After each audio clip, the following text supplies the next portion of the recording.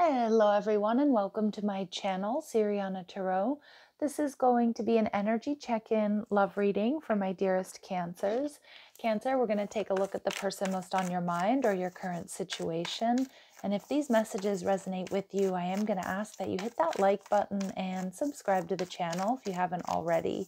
So let's go ahead and get started. Let's see what clear messages and guidance come through for my dearest Cancers for their highest and greatest good. Clear messages, advice, and guidance for my cancers, please. All right, we've got the Empress in reverse, Taurus and Libra energy, the Queen of Wands. We've got the Hermit. We've got the Lovers. Wow. Okay. And we've got the Four of Swords in reverse. And we have the Fool.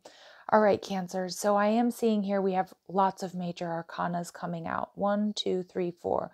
Four out of the six cards. Um, it does look like you have been involved in some sort of third party situation. Now, it is also possible here that you're dealing with somebody with this Queen of Wands in reverse who kind of wants to be single or is a bit of a playboy or a playgirl um, someone here who may have you in a third party situation or is dating other people. I do feel this person is restless to see you, but I'm also a little bit worried that there's potential for heartbreak here, Cancer.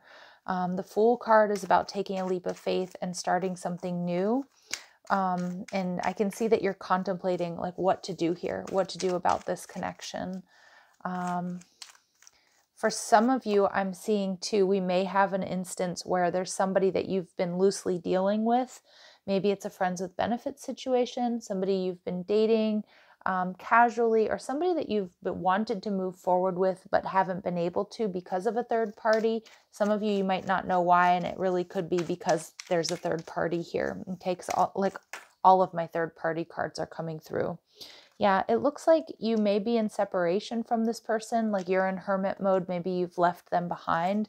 Um, it kind of looks like there's a connection here that couldn't really come together because of this third party. And truthfully, third parties don't have to be romantic rivals, Cancer, but it, you know, it can be work, it can be other obligations, responsibilities, hobbies, friends, family, anything. But it looks like you have a connection here that has been blocked, that wasn't able to come together but you have your 10 of cups coming in. Now, for some of you, it's blocked because this person's married or in a long term commitment. But what I'm seeing here is you've been healing, you've been moving on. And this may be confirmation with this Queen of Wands in reverse that the person that you're healing from or moving on from, you know, was, was, you know, had you in a third party and that's why it couldn't move forward. Um, strength card. So in this deck, it shows up as number 11. Libran energy and the Three of Cups. Yeah, a lot of you, this person's married. That's just, I mean, I'm, you know, I know a lot of you aren't going to like those messages, um, and some of you would like the messages to be different, but I can't change the messages that come through. And here I'm seeing you are dealing with somebody who had you in a third party or was married, maybe married to their job, but for a lot of you, it's straight up another person. And I feel like you're healing from this. I feel with the Hermit card, Virgo energy, you know you're doing a lot of analysis you're doing a lot of introspection um, you know you're just you're doing what you're supposed to do and you've pulled back your energy. Yeah three of wands this person knows and sees and senses obviously the distance between you and them but again this person knows that they weren't prioritizing you or the connection and they're seeing temperance energy in reverse and they know that you know they know that you're healing from this or that you've moved away from them so that you could heal and start something new. And that's what we're going to focus on here because i do see what you're not seeing is the lovers card gemini energy. So you could have an aries or a gemini coming towards you maybe a virgo maybe a, a, a sag but mm, with the lovers card here you have you have a soulmate on your path someone that might be around you someone you're not seeing the Eight of Wands in reverse, okay? And we get the Magician energy in reverse. It's somebody who hasn't taken action yet towards you or is not communicating with you.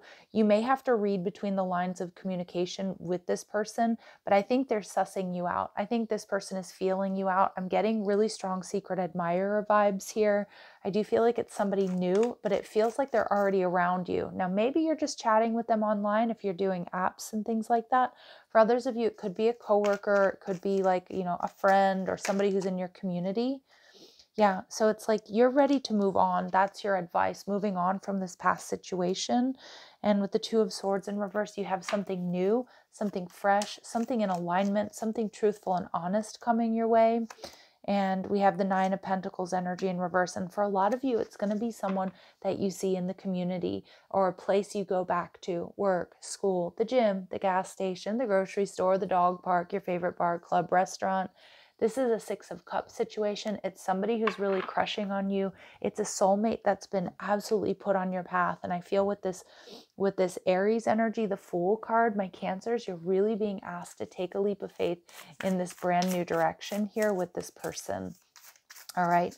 So let's see. Clear messages, advice, and guidance. Clear messages, advice, and guidance for my Cancers, please. It feels like an, you know, this feels like an energy of karmic justice. Um, we see duality, many meanings, misunderstanding.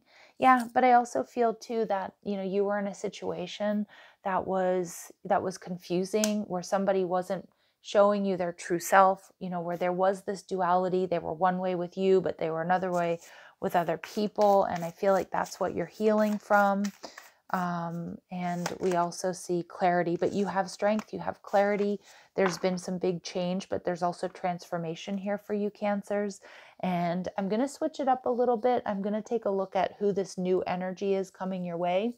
Um, because I feel like, you know, my Cancers, you've been through a lot, and I feel like you are very actively and have actively put the past to rest. Okay, or you're in the process of doing that. Um, so let's see clear messages, advice, and guidance. Clear messages, advice, and guidance. Who's this new person? All right, so we see they could be a Gemini, beautiful confirmation of what's hidden, what you're not seeing. So you could have a Gemini or somebody with this strong energy, this strong mercurial energy, who's the thinker and this a communicator of the zodiac coming your way. Again, they're probably they're they're Geminis flirt in like a chatty way. They're going to make jokes, maybe tease you. This is somebody who's going to make you laugh, Cancer. All right. And they could be a Scorpio. Okay. So they're protective and they're loyal. It's also a very sexy energy.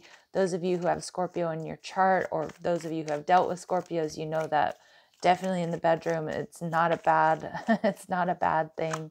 And this is somebody who's got a healthy lifestyle. So they live cleanly, they infuse exercise and healthy choices into their daily routine. Some of you, you meet them doing something quite healthy here. Um, you meet them doing something, you know, like I said, gym, maybe yoga, maybe, you know, um, yeah, just doing some like maybe outdoor activities or things like that, or you just bond over that. Um, but I also feel too, it's just going to be emotionally a very healthy connection for you. Again, it feels like karmic justice. It feels feels really good, Cancer. And this person may have a severe allergy. Um, they may, oh, this person, the color yellow is going to be important to them. So, strong solar plexus energy, strong, healthy, balanced masculine energy is what I'm getting. I also feel this person might wear, like, their favorite color could be yellow. They might also be wearing, like, a pop of yellow, either in their makeup or their clothing um, their shoes, okay, like, or, you know, they just might be wearing yellow. They might also wear gold jewelry, is what I'm getting. They could come from a larger family, have a couple of siblings, maybe three and they do wear a meaningful accessory. So I do feel like this person is going to wear some type of jewelry. Now I'm seeing like a woven necklace, like maybe like an artisanal necklace, maybe with a crystal. But again, that's definitely not going to be for all of you. But they definitely, it does feel like this person does wear jewelry of some sort. Again, it could be gold or it could be what I just described. Okay, let's see. Mm, cancers, how else will you know who this new emperor energy is for you? I said emperor, I'm not sure why, but um, maybe because I'm seeing the empress, it feels like, you know, this is like twin flame, divine counterpart type stuff. We have genuine and sincere. They're going to be, yeah, they're going to be laid back, relaxed, easygoing. They're going to be really funny.